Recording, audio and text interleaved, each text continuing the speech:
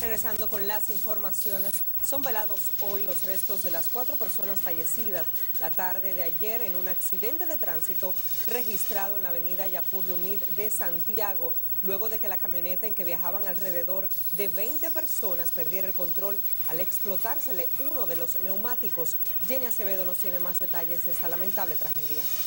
Los cuatro fallecidos son Marianelli Santana, Luis Rosario y la pareja de esposos Esther Francisca Montán y Elvis Rodríguez. Rosa María Montán, pariente de la fallecida Esther Francisca Montán y quien sobrevivió al accidente, manifestó que solo aclamaba a Dios cada vez que uno de sus compañeros caía al pavimento. Yo veía cuando ellos caían así, Dios mío. Ay, sí. Solo el que no vio eso no puede contarlo. Asimismo, el dolor embarga a familiares de Marianelli Santana, quien tuvo que ser sepultada ante el deterioro de su cuerpo. Ay, Dios mío. También Luis Rosario y Elvis Rodríguez fueron sepultados a primeras horas de la mañana. Este accidente se registró próximo a las 5 de la tarde de ayer domingo, luego de disfrutar de un juego de softball. La hija mía cayó, el esposo quiso como agarrarla y no pudo se fueron los dos. Porque era entre familia, todos que andaban eh, jugando. Y ellos venían contentos porque habían ganado. Los cuatro fallecidos eran residentes del sector La Yagüita de Pastor, en tanto el conductor de la camioneta Arismendi Rodríguez aún se encuentra detenido. Desde Santiago, Jenny Acevedo Noticias, Telemicro. El ministro de Obras Públicas, Gonzalo Castillo, aclaró que los técnicos de la institución dan los toques a los diseños finales de la construcción de la carretera Cibao Sur para ser presentados al presidente Danilo Medina en los próximos días. El funcionario dijo además que si todo marcha como ha sido planificado, para octubre se estaría realizando el trabajo físico en el terreno, es decir, haciendo el movimiento de tierra. Una vez eso, eso se entregue y todo el mundo deposita, porque recuerden que es una licitación eh, nacional e internacional. Entonces, el comité de licitación que va a dirigir Monseñor eh, de la Rosa y Carpio de Santiago, el Monseñor Grullón de Barahona y el Monseñor de San Juan, son ellos tres los que van a presidir este comité de licitación para, para mayor transparencia. Gonzalo Castillo precisó que la carretera Cibao Sur es considerada por diversos sectores como punto clave para el desarrollo de estas regiones, por lo que pudiera ser licitada entre julio y agosto de este año. La vía que enlazará las regiones norte y sur del país tendría una inversión entre los 350 y 400 millones de dólares, cuya construcción se terminará en un plazo de 30 meses.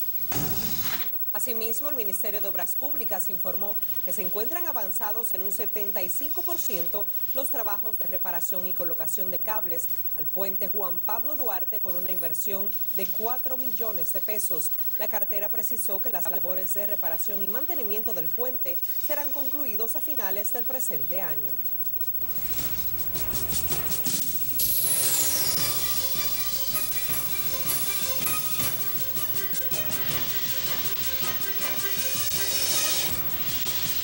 Incluye la, reparación de los cables y de los anclajes, incluye el, mantenimiento del puente, el mantenimiento general, el, mantenimiento también de los dispositivos de, andamiaje, que son unas guindolas que tenemos que son eh, eh, móviles, para poderle dar inspección y darle mantenimiento durante los siguientes años, y el sistema de seguridad.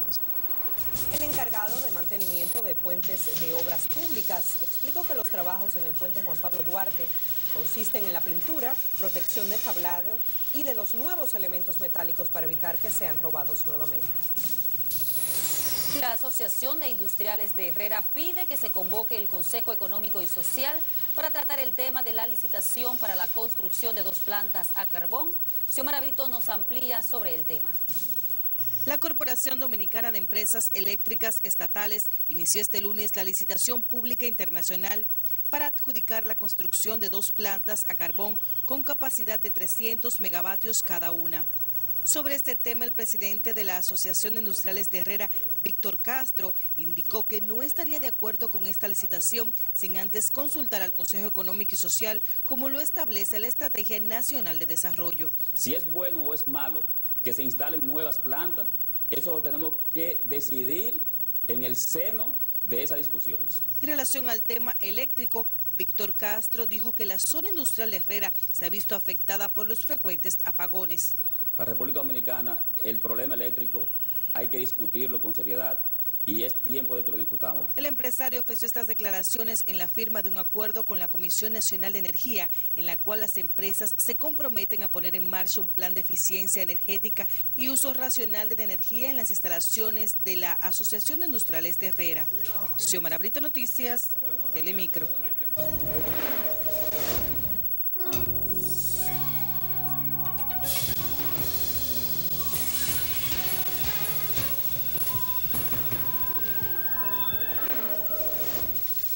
Salud en República Dominicana ocurren anualmente alrededor de 17 mil accidentes cerebrovasculares y los mismos son en Estados Unidos la cuarta causa más importante de muerte y la principal razón para sufrir discapacidades. Yasmidi Rodríguez nos cuenta cómo reconocer un accidente cerebrovascular.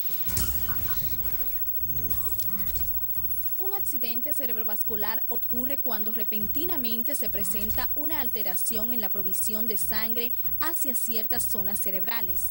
90% de los accidentes cerebrovasculares son de tipo isquémico, que ocurre cuando las arterias del cerebro se estrechan o bloquean, ocasionando una grave disminución del flujo sanguíneo. Igualmente graves, aunque menos comunes, son los accidentes cerebrovasculares de tipo hemorrágico, que ocurren cuando estalla un vaso sanguíneo del cerebro o cuando empieza a sangrar una arteria cerebral. Los síntomas de un accidente cerebrovascular podrían presentarse repentinamente y a veces solo duran poco tiempo.